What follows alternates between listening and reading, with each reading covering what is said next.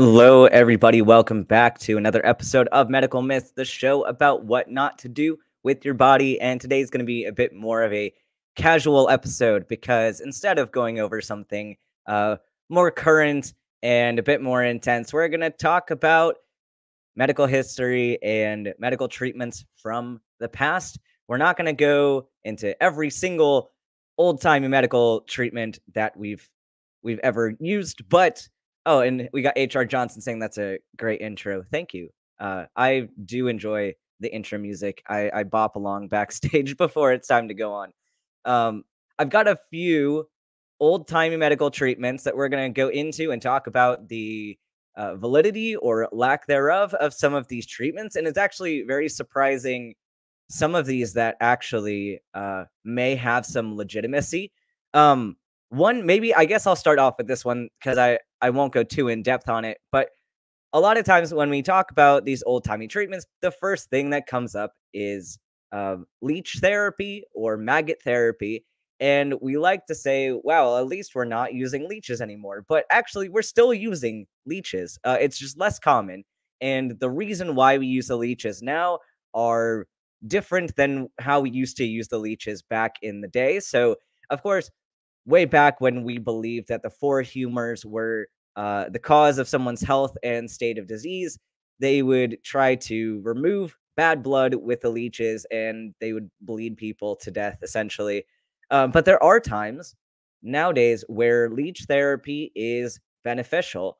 Um, I actually saw a case in ICU not too long ago where somebody had necrotizing fasciitis of, I think, their leg, and they had a plastic surgeon that was doing skin grafts uh, to try to repair the area that was necrotic. So they debrided the the tissue, and how you do that, you have to use sometimes you use maggots uh, to debride the tissue because maggots will only eat dead tissue; they will not eat healthy tissue. So maggots are actually really good and very precise wound cleaners. Uh, so we still use that um, and then the leeches can be used when you're skin grafting um, if you get hematomas or bleeding into the graft. Uh, the leeches can prevent um, that bleeding and and help the graft stay on better. So interesting little thing that we still use leeches. Um, we actually found in the hospital when I was working that day, there was a leech that got onto the floor. We were wondering who lost their therapeutic leeches, but they are still around. Uh, leeches are tasty, maggots not so much. Um, so some of the other interesting medical therapies that I want to go into, uh, and I want to find the right picture uh, to use for this. But there's one that I stumbled across, and it seemed very ridiculous to me. And I mean, it still does seem a little bit ridiculous, but there actually might be a little bit of legitimacy here. Um, so we're going to talk about something called plombage or extrapleural n- pneumonolysis. That is a word. Um, and this was a treatment for tuberculosis uh, primarily. So what they would do. Oh, they there's an ad in the way of my pictures. Okay, they moved the pictures down there. But um Can we see this? I'm zoom in a little bit. If y'all can here's a good picture. All the weird little pop-ups in the way. Here we go. So if you look at the top of the lung there, um, you see some round clear spots um, in the lung. And so, what this is, plombage is a historical treatment for cavitary tuberculosis of the upper lobes of the lungs. It was used in the 1930s, 1940s, and 1950s prior to the introduction of anti tuberculous drugs.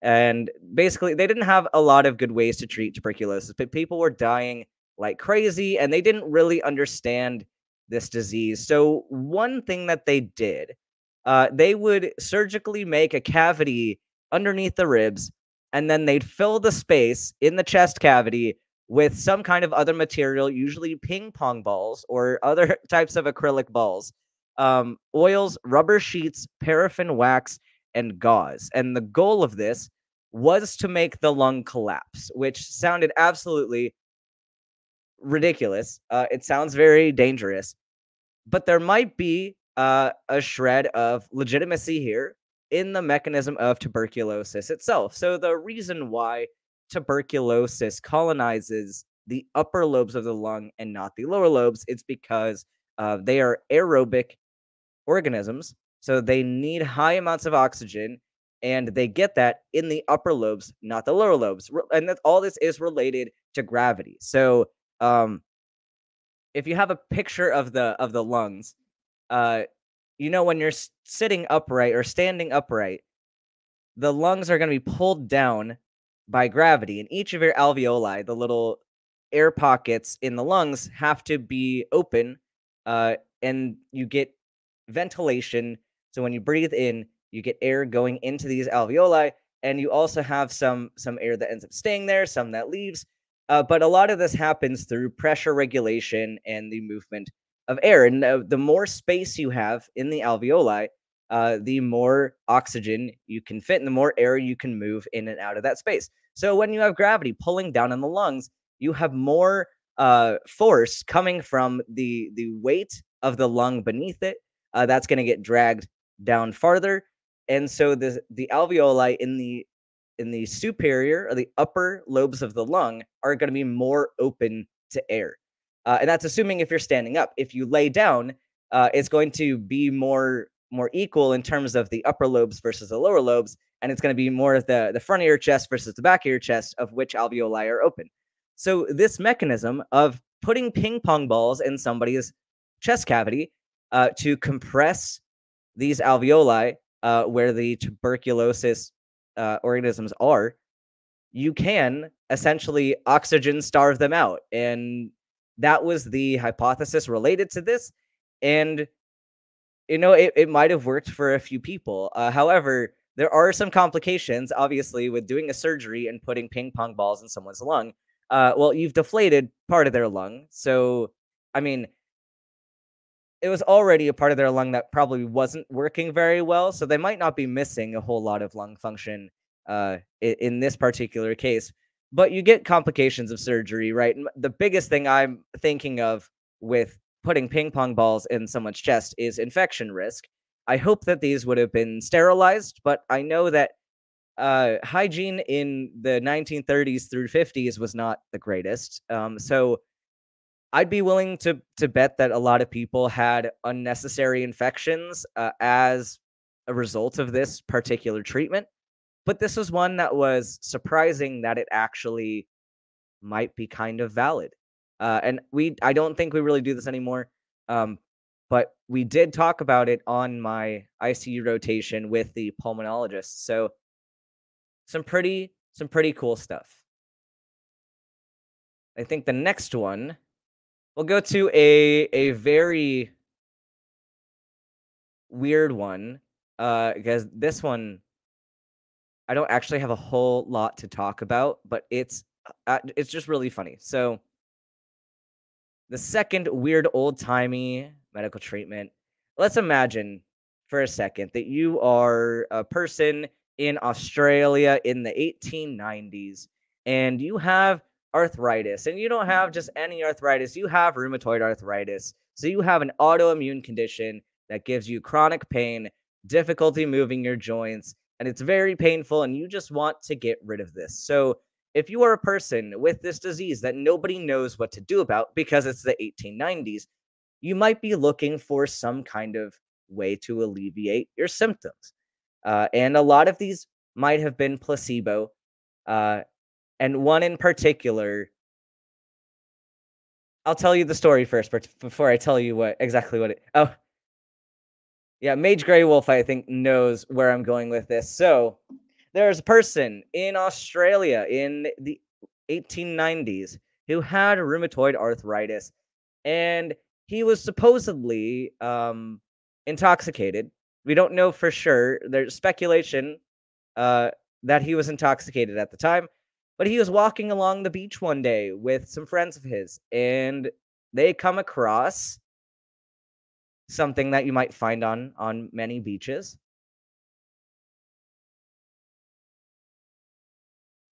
I'm going to zoom in on this picture. So they found a whale carcass on the beach in Australia. And this picture is really funny. You see the the dead whale here and you just see this dude with his head poking out of it. So this guy was walking along the beach. He was super drunk with his friends. He has rheumatoid arthritis. He wants to get rid of it. He finds a whale carcass and is like, "Yes, I'm going to go sit inside of this." And so he did. So he goes and he he cuts a hole in the whale carcass and sits down inside of it. Uh, and then his friends kind of leave and, and they're like, I don't know what this guy's doing. This is super weird. And then several hours later, uh, this man emerges from this whale carcass and says, Wow, I have no more joint pain. I'm cured.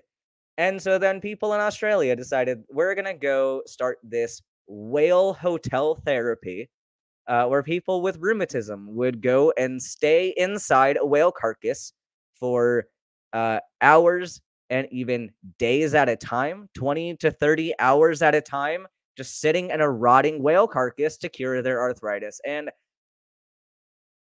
i i don't know for sure that this doesn't work i cannot prove that this didn't work uh, but my take on this is that this is a placebo and this is just hearsay. Some drunk guy probably doesn't know uh, the cures for for rheumatoid arthritis, and my bet is that he was possibly a grifter at the time, just trying to get people to buy into his weird ideas. Um,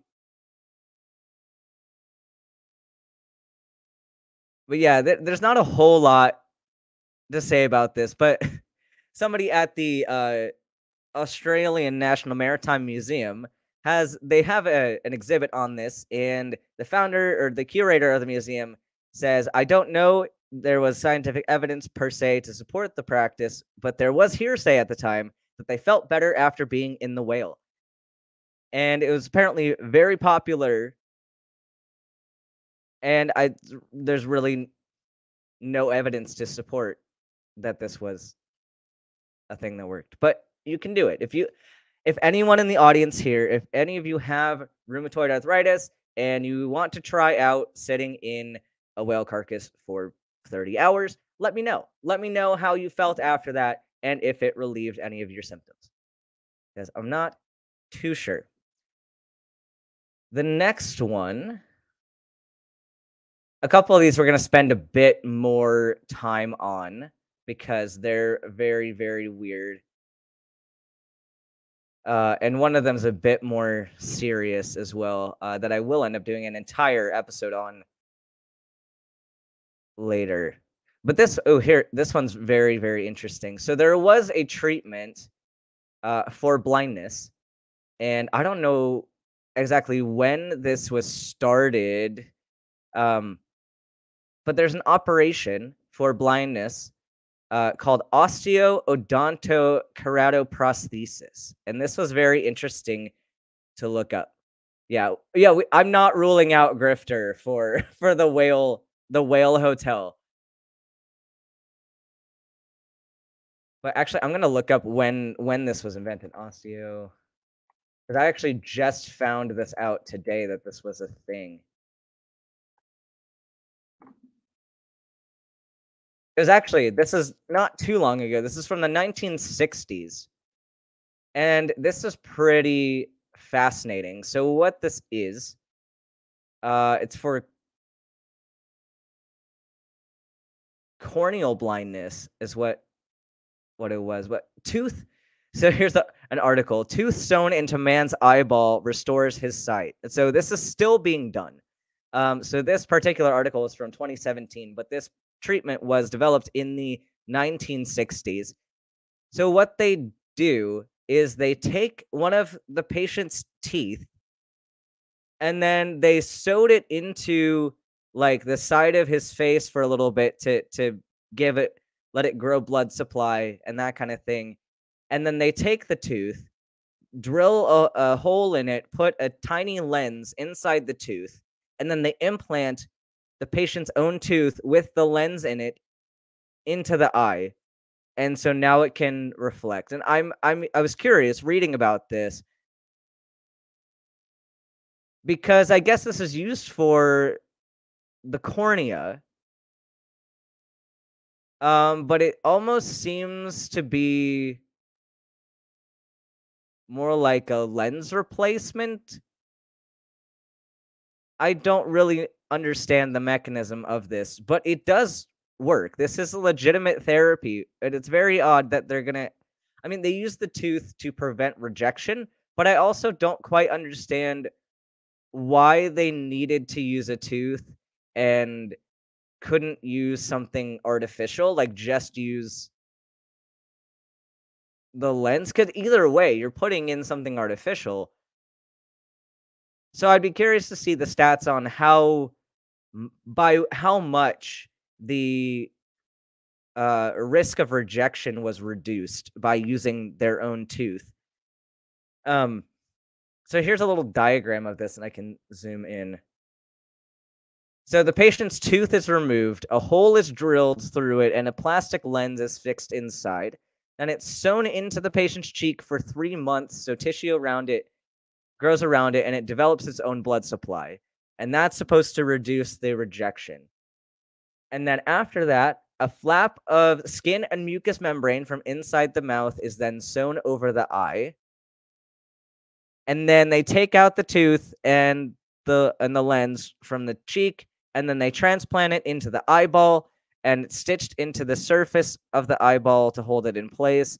An opening is made in the skin allowing the new lens to see.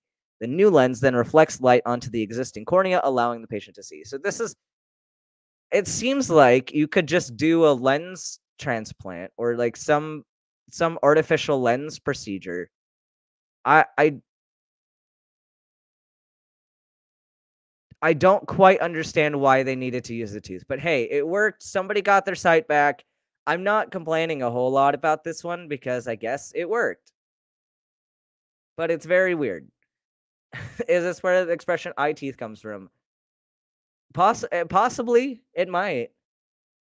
Yeah, I can't imagine like being on a, a, medical board where somebody has suggested this method of of treating blindness. Like, yeah, so so I I had this patient uh who was blind and I wanted to restore their sight. So what I I had this idea, and no, I don't have the idea to give them an artificial lens or a, a corneal transplant or whatever. Uh, I my idea. I want to take their tooth, and I want to put a lens in it, and I want to put their tooth inside their eyeball, and that's my idea. And I really think this is gonna work. Imagine being imagine being the first patient that this was gonna be done to. Like, yeah, okay, so I have this idea. I know you're blind, but just bear with me for a sec. As this sounds ridiculous, but I want to take one of your teeth and I want to stitch it inside your eyeball, and I think that you might see after that. You you in? I, especially the guy in the 1960s that agreed to this. I mean, granted, the 1960s didn't have a lot of good medical treatment. It's surprising, like how how weird medical care was in the 1960s, even though it wasn't too long ago. Like dentist didn't really start even using gloves until the 1960s, which is wild. Like, and we we knew about germ theory before that even so we knew about germ theory we knew that we we needed to wash our hands and things uh and they said yeah washing your hands is enough uh to to perform dentistry without gloves that's absolutely disgusting i don't know how people thought that was okay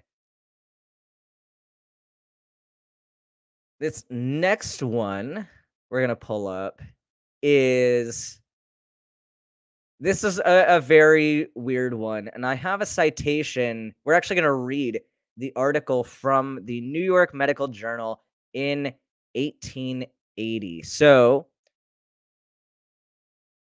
for a long time, uh, we have known that if you bleed out, it's bad. You need blood to survive. And if you have too low blood pressure and too low blood volume, that you might you might die. Uh, and there there were times when they tried to use lots of different substances to transfuse into people to see if uh, if they could keep people alive who were bleeding. And one of these things that they tried was human breast milk.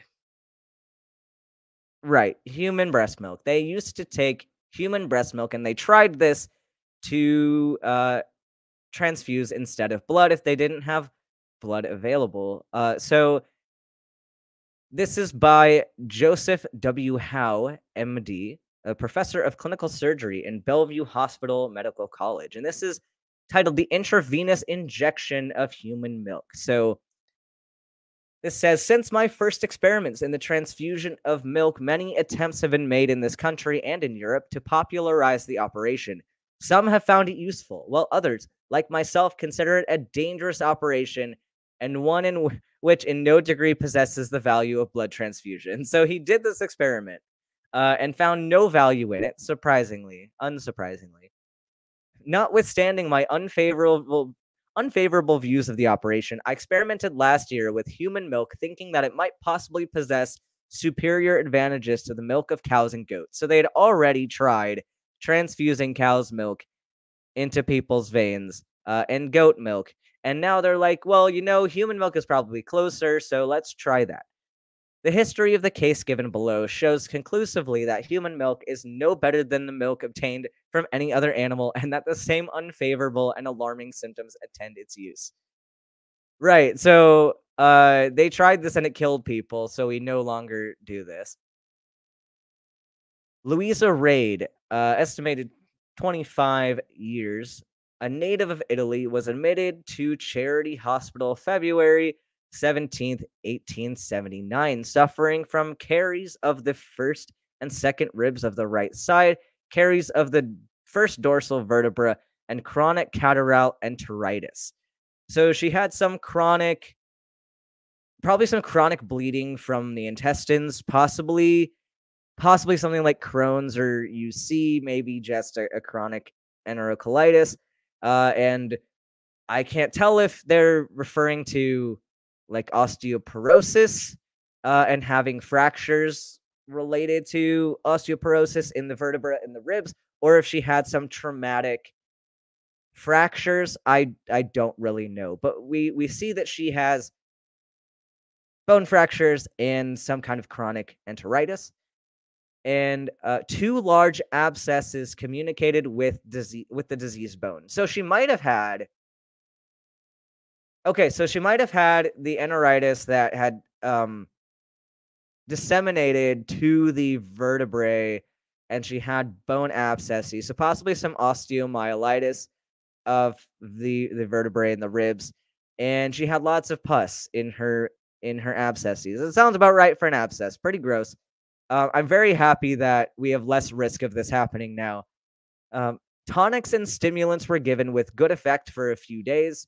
Uh, so probably she was given like cocaine uh, or something similar as a stimulant, um, which may have been used in in kind of a pressor method. So if she had low br- blood pressure, and uh, this would be equivalent to in the ICU giving you norepinephrine or epinephrine or dopamine or something. Um, so that that part might not be unreasonable that they would have used a stimulant uh, for someone who is very very ill. Um, but it was it probably was cocaine though. Her appetite increased and the uh, suppuration diminished, so she got reduced swelling. Uh, this improvement, however, was only temporary. She soon began to sink from the combined effects of profu- profuse diarrhea and suppuration. It was then decided to try the intravenous injection of human milk. So she was getting sicker and sicker over time. The stimulants were not enough to keep her from uh, losing blood and dropping blood pressure. So they decided what we have isn't working. Let's try transfusing some human milk. So they took a healthy woman who was obtained from the lying in ward of charity. So um, because somebody that was in the hospital who was healthier. They took three ounces of healthy milk drawn from the breast, strained through carbolized gauze, and placed in a basin of warm water. The cephalic vein of the right arm of the patient was then opened, and a double mm. cannula of Collins' instrument introduced. The milk was then poured into the receiver, and the injection was commenced. At this time, the patient's pulse was ran up to 150, or at the time, the patient's pulse was 126 and a respiration 22. When the first half ounce had been thrown in, the pulse ran up to 150 and the respiratory movements to 30 to the minute. So she's already breathing fast. She's got a rapid heart rate because she has hypovolemia. Um, and they so they gave her some more some of the milk, and her pulse went up higher, which is I mean, she is potentially compensating more or having a negative reaction to this. So she's not going in a better direction. She complained, though, an interpreter, uh, through an interpreter, of great pain in the back and limbs, which I've noticed before in other cases of milk transfusion. So they already knew that that was an issue with the cows and goats' milk, and now it's also the issue with the milk trans- human milk transfusion. With the introduction of the next half ounce of milk, the respiratory movements became labored and irregular, the pulse intermittent and at times almost imperceptible. The operation was temporarily suspended until these unfavorable symptoms had disappeared, and then another ounce was slowly injected. So, so she's getting worse. She's already dying. They're like, give her the the breast milk. They inject it into her veins, and she gets worse. And so their plan then is to to take a short break. Like, you know what? Okay, maybe we just need to slow this down a little bit. So they take a short break and then they go back and and inject it again because that's obviously the thing you need to do. When your treatment is not working and someone is getting worse, you obviously go back and do it again. So so they gave her some more. The respiratory movements then ceased altogether and no pulse could be felt at the wrist. The cannula was drawn from the vein and artificial respiration produced immediately. In the course of five minutes of active effort, the pulse and respiration returned to an extent sufficient to warrant the removal of the patient from the amphitheater to the ward. And the hypodermic injections, uh, here we go. So this is fun too. Hypodermic injections of whiskey and morphine temporarily restored her lost vitality. So it didn't work. They al- it almost killed her. They couldn't find pulses. They stopped doing the therapy for a bit, gave her some more. Uh, and then she became stable enough, um, stable enough to move her to the ward instead of being in the OR. Uh, and then, and then she stayed alive for a little bit after that by because they gave her whiskey and morphine. Um, The patient lived 10 days after the operation. A post mortem examination showed catarrhal pneumonia at the apex of the right lung, ulcerations in the large and small intestines with extensive necrosis of the bones previously mentioned. There were no lesions referable to the intravenous injection of milk. So they didn't find anything specific on autopsy that was caused by these uh, milk transfusions. Um, but yeah, this was not proven to be a good therapy. Uh, we don't do this anymore.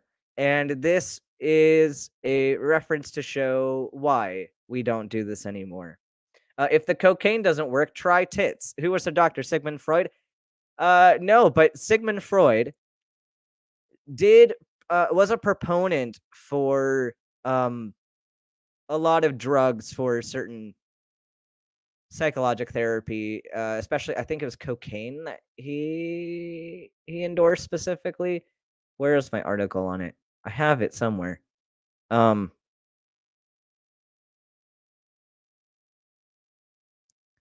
I have a lot of articles pulled up about things that people used to do.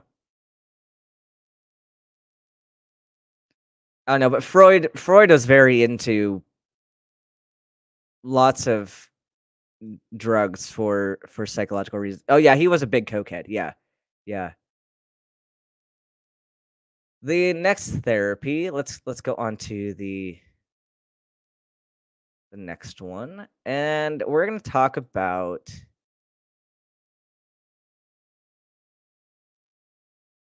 let's talk about malaria and syphilis. So, this is a very interesting one.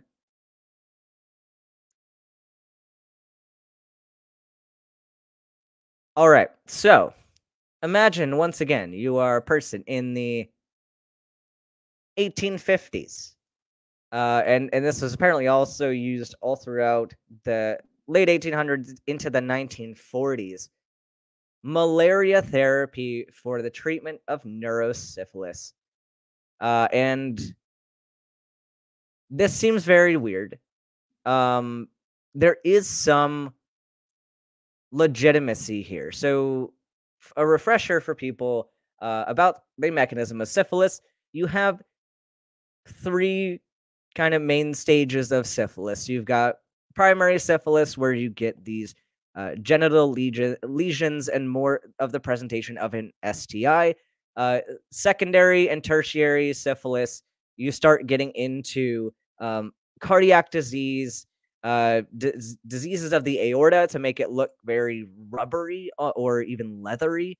Uh, you get neurosyphilis, so you get um, issues with sensation of the legs. Uh, so you get neuropathies, and you also get uh, some psychosis and other neurological symptoms.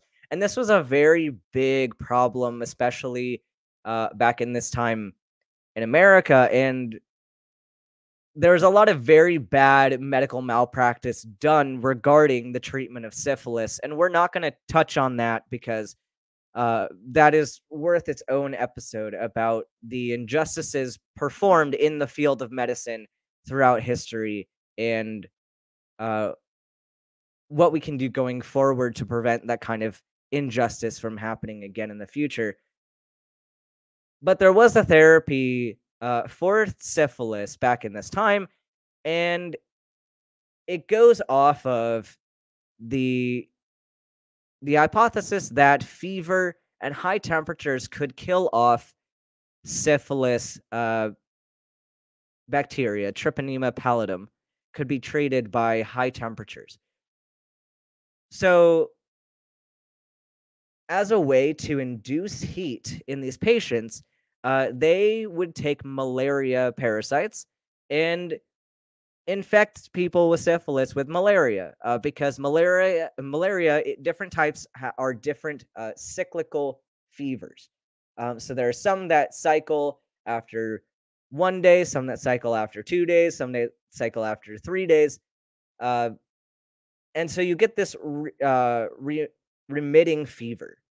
So the fever will go up and then it'll go back down and then it'll go up and down and so this way they could control somebody's fever uh, and have it keep going and, and kill off the syphilis. And you can imagine that there were a lot of issues with this because you're giving somebody uh, another infection, and we know that malaria is very dangerous and kills a lot of people. So you're kind of you're kind of stuck here because once you hit this this stage of tertiary syphilis, you're pretty far gone. Um, syphilis is a treatable condition. Nowadays, with penicillin, it's very easy to treat syphilis if you catch it right away, which is why you should get tested if you think that you were exposed to syphilis. But if you're at this stage, uh, it is very difficult to stay alive. So you have this ethical dilemma of do I let this patient die of syphilis or do we risk them dying from malaria to potentially treat their syphilis? Uh, so it's kind of how do you want to die? Is is the question. So we'll read this abstract. For centuries, heat has been used in various ways for the cure of mental diseases, and it's unfortunate that they're primarily relying on this to relieve the psychiatric symptoms of neurosyphilis. Hippocrates noted that malarial fever could have a calming effect in epileptics. So I guess they used this therapy even back in ancient Greece for epilepsy. That's that's really interesting. I didn't know that. Centuries later, Galen described a case of melancholy cured as a result of an attack of quartan fever. In 19th century, the eminent French psychiatrist Philippe Pinel in his treatise on insanity, referred to the beneficial effect of fever, an opinion es- expressed a few years, years later by his pupil, Jean Etienne Dominique. I, this a lot of French names in his treatise entitled. That okay, that's I'm not going to read the title either. That's more French. If someone speaks French and wants to read off the title of this treatise, you are more than welcome to. However, in 1917, the Austrian neuropsychiatrist Julius Wagner uh, pointed out the therapeutic value of malaria inoculation in the treatment of dementia paralytica. In 1927, Wagner received for this work Nobel Prize in Medicine, being actually the first psychiatrist to win the Nobel Prize. He studied medicine at the University of Vienna and received his doctor, doctorate in, 19, in 1880. In 1889, he was appointed professor of psychiatry. Uh, we don't really need to read up on his whole history of his qualifications, but he was a professor of psychiatry and a practicing psychiatrist. Working in the asylum, he noted that insane patients with general paralysis occasionally became sane after some febrile episode. After experimenting with several artificial methods, uh, they tried streptococci uh, and tuberculin to induce fever. He concluded that malaria was the most satisfactory. Uh, actually, malaria infection was an acceptable risk for, for the patients, as quinine would be administered as soon as syphilis was cured. So they thought, well, the mal- malaria is not that bad of a problem because we're going to give them the malaria, treat the syphilis, and then we'll give them uh, quinine therapy for the malaria, and they'll be fine. Um, not really taking into consideration that not everybody could be cured by quinine. Uh, it's not 100% reliable of a drug, and no drugs are. Uh, and giving somebody both of these infections is going to be very, very risky. And especially if someone is already immunocompromised, you could see how how bad this could have ended up. In 1917, he reported the first favorable results of this study. Patients were inoculated via intravenous injections with malaria. Some physicians were starting the administration of anti-syphilitic treatment, bismuth, salvarsan, and later penicillin after 10 to 12 febrile paroxysms, while others initiated the regimen the first febrile free day after eight malarial paroxysms. The therapeutic regimen was completed with the administration of quinine sulfate to terminate the malaria infection. It's worth mentioning that the above treatment was followed in hospital at, under the strict monitoring of patients' vital signs and regular laboratory tests. So at least they had doctors watching this. In the following years of his discovery, artificial fever was induced by any one of the following method- methods the introduction into the patient of a parasitic disease, the injection of a foreign protein, injections of chemical substances such as sulfur.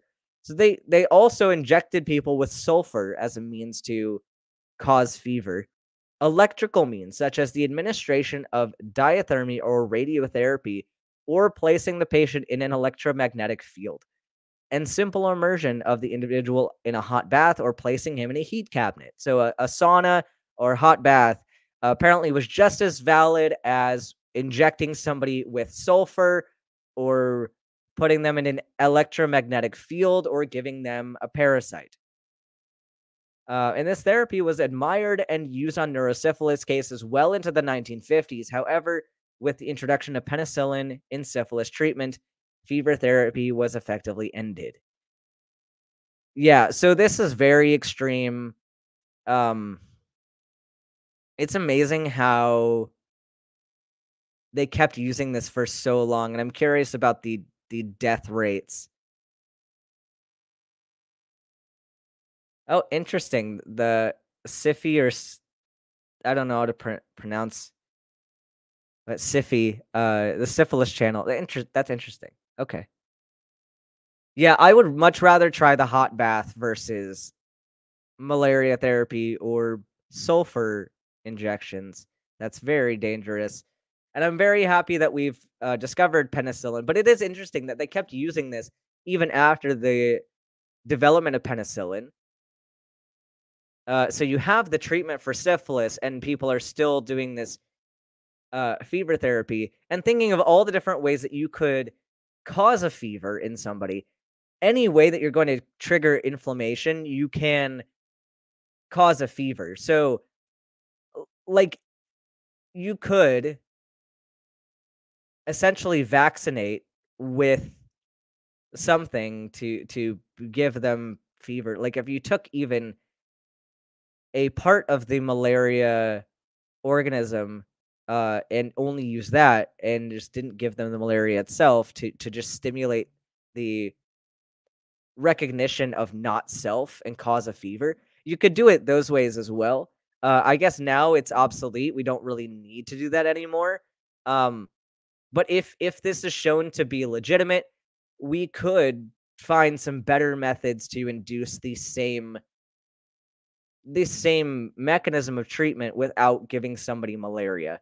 Uh, but this was an interesting one that I was wanting to share about.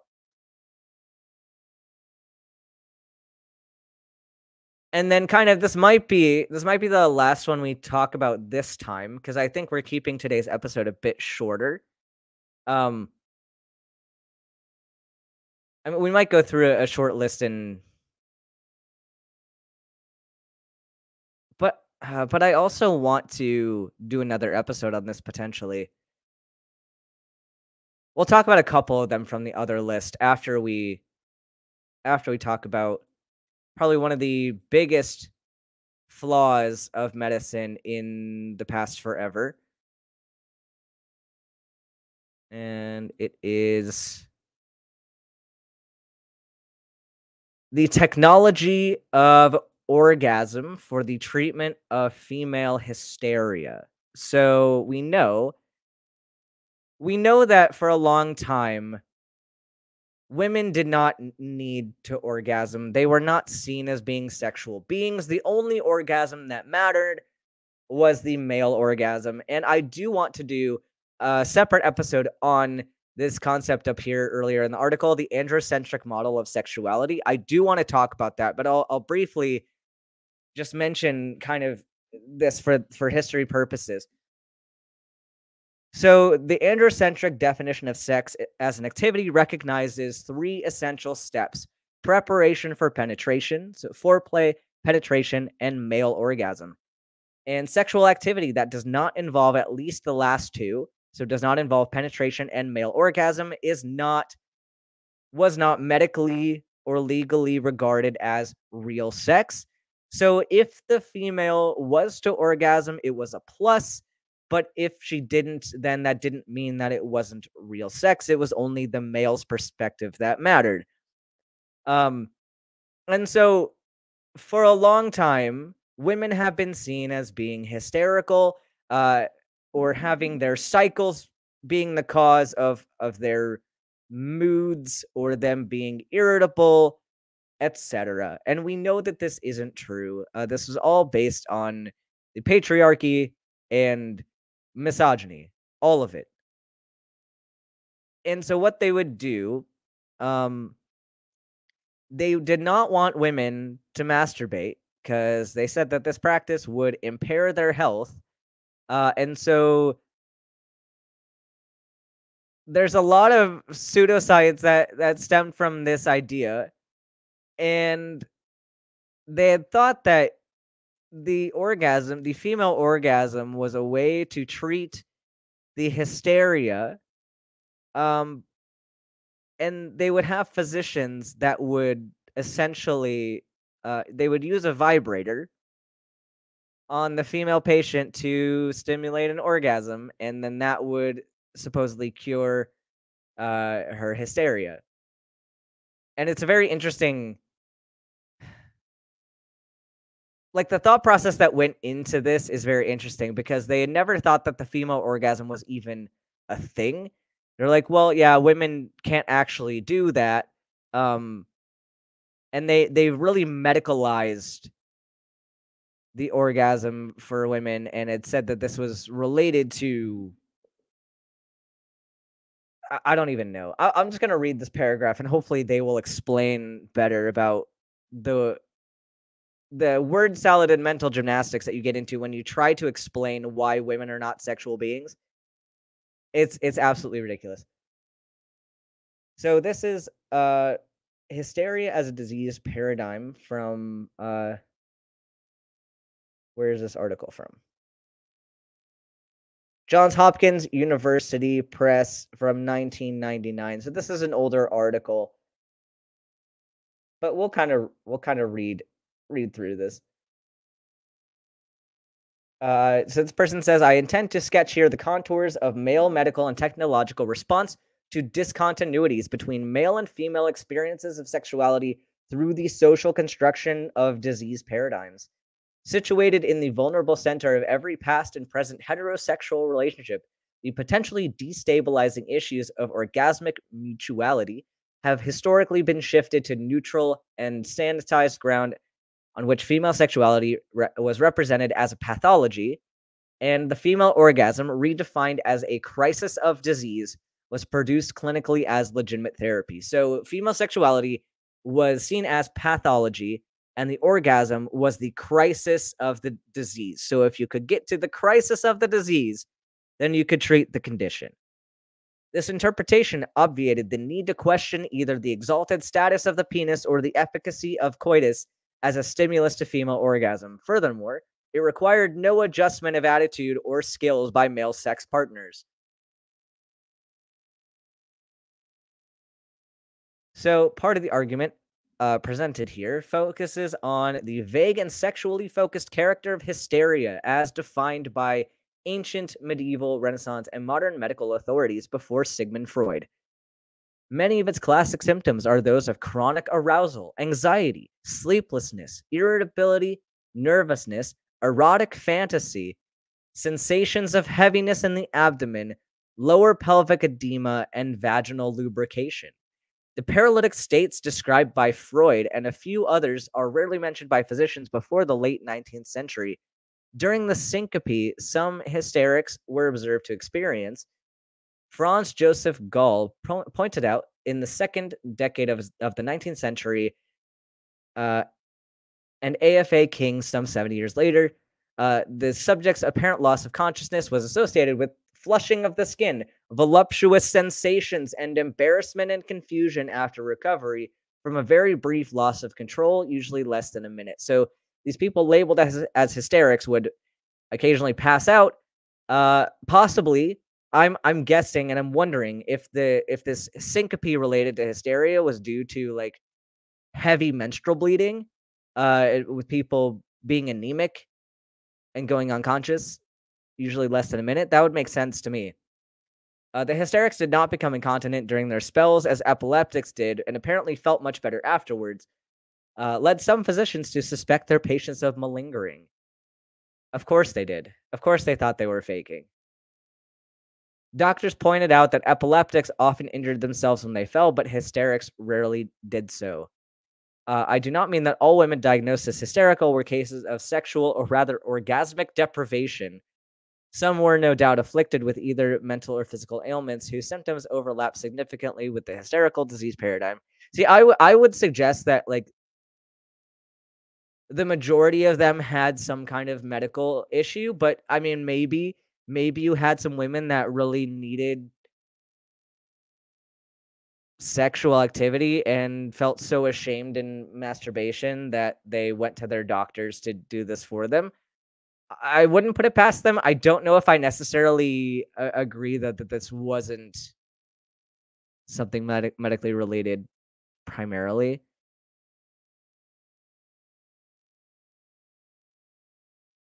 So basically, uh, they got vibrators. Uh, the electromechanical br- vibrator, invented in the 1880s by a British physician, represented a last of a the last of a long series of solutions to a problem that had plagued medical practitioners since, since antiquity. Effective therapeutic massage that neither fatigued the therapist nor demand skills that were difficult and time consuming to acquire. Yeah, so previously, before the vibrator, I guess doctors and therapists would like their their job would be to to jerk off women uh to relieve their hysteria like that's that was somebody's like whole medical expertise which sounds very creepy looking back on it like think about the guys that would choose that that specialty but like yeah i'm choosing this uh to treat people's hysteria and this is a way to work in pseudoscience uh and sexual predation into uh, somebody's medical practice, and this is absolutely disgusting. Yeah, the vibrator was invented because the doctor's hands got too tired doing this. Um, I could imagine that some people did want this therapy uh, and enjoyed it. I'm also willing to bet that a lot of people were forced into this kind of therapy. And I I really hate to think that that was the case for a lot of people. But yeah, this was an actual thing that that they did. Um, and I don't want to go too far into this article because I, I do want to come back and talk about hysteria um, and, and the progress of our knowledge on the female reproductive system and the female orgasm because uh, I think it's a very worthwhile episode. But I, I do maybe want to get somebody who's an expert in uh, sex therapy or something that can help talk about this with me. Um, so we'll kind of leave that here. But uh, let's look at there is one other vagina myth that I did want to to bring up because this was funny to me. Vaginal incense. So people used to use onions, I guess, onions, and they would put them into the vagina to make it smell better. Um, and there was a myth in ancient Egypt, apparently, that uh, onions were inserted into the vagina to determine pregnancy. So if so, if, this is interesting. So if you put an onion in the vagina, uh, and then the woman's breath smelled like onions, that meant that she was pregnant. And that was something that they did back in ancient Egypt. Um, so if you did this, if you put the onion up your vagina and then ate an onion later, uh, you would be, have been thought to be pregnant probably because you would have smelled like onions. So don't do this. Do not put onions in your in your vagina because it's number one. Uh, it's not going to be very easy to pull pull it back out. You need to make sure you're using safe safe toys that aren't going to get stuck places and also that aren't going to have uh diseases. Uh, it, you don't want bacteria being shoved in there. So get something that you can sterilize effectively, and onions cannot really be sterilized effectively. So please, please don't do this. And also, um, smelling like onions does not mean that you are are pregnant. But yeah, I'm sure that I'm sure that Gwyneth Paltrow probably would have believed this. Yeah, it's more common that they that they peed on weed, but this whole episode is more about the weirdest things people did. And since onion vaginas was one of the weirdest things, I thought I would touch on it here. Uh oh, and also this one was kind of fun that I I'll cover, and then maybe we'll maybe we'll save the rest of these for another time. But back in the 1840s, uh, if for people who had trouble speaking or had uh, voice disorders, they would cut part of their tongue off and say, "Yeah, this is going to definitely solve it." Um, it doesn't. We have things now. Uh, we have speech therapists now that can work with people to help get their voices back. And there's no evidence that cutting off part of your tongue in any way affects your vocal cords, uh, especially not in a positive way. So please do not cut off your tongue if you get laryngitis. Uh, it's not not a good idea. Um, it's just not a good idea to cut off your tongue at all. Uh, I don't recommend this. But if if you are an adult and can make your own decisions and can consent to whatever you want, then I mean, if you really want to do it, like if you really want to have half a tongue, then go for it. I guess I'm not gonna stop you, but I will say there's no evidence to support this being a legitimate therapy. Oh, Nate Nate Smith is here. Yeah. yeah, uh, you cut off your tongue yesterday, didn't you? I told you to wait for this episode first before you went and got your tongue cut off. But uh, you apparently didn't get the memo, and I apologize. It's bad communication on my end. Um, so I think I think that's all the strange medical therapies we were uh, gonna get into today. What was this other thing I had pulled up? Um. Oh, this was about heroin. Yeah, I, I think I had an article pulled up about heroin for uh cough syrup.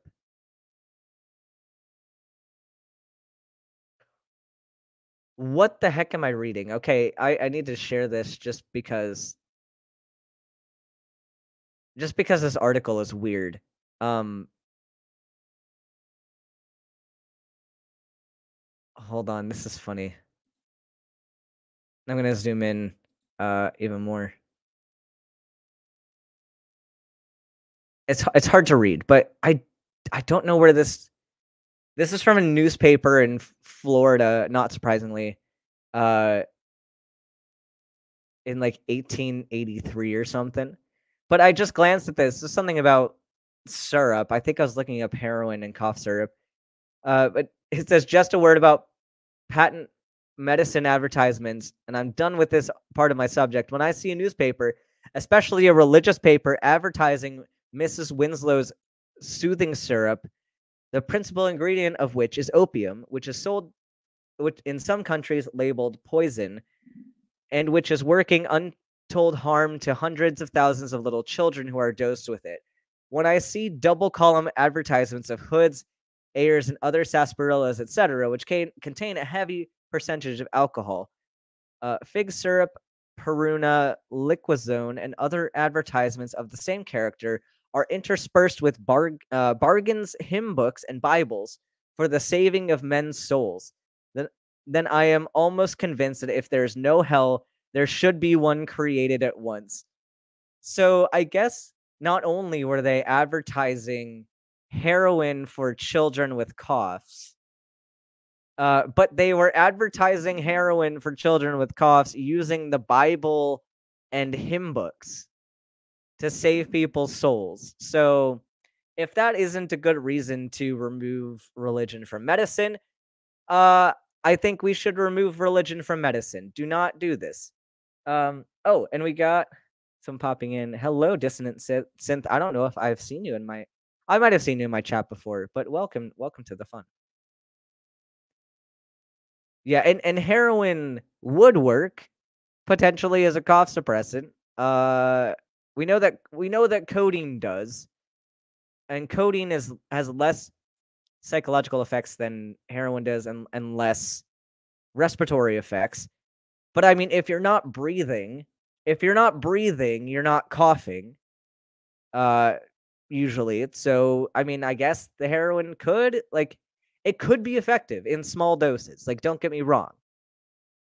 But it's very dose dependent and, and the dosage required to kill you goes uh it's it's a pretty low doses to kill you. So probably don't do this even though it might work. This is technically valid. Oh, and and Breeze here now. Everyone's showing up, and I'm just about to end because we have a very we're having a shorter stream today. But does anybody? I guess I could ask the audience if anybody else has a topic that you want to bring up or any questions or anything. This is more of a casual episode today uh, because I was feeling.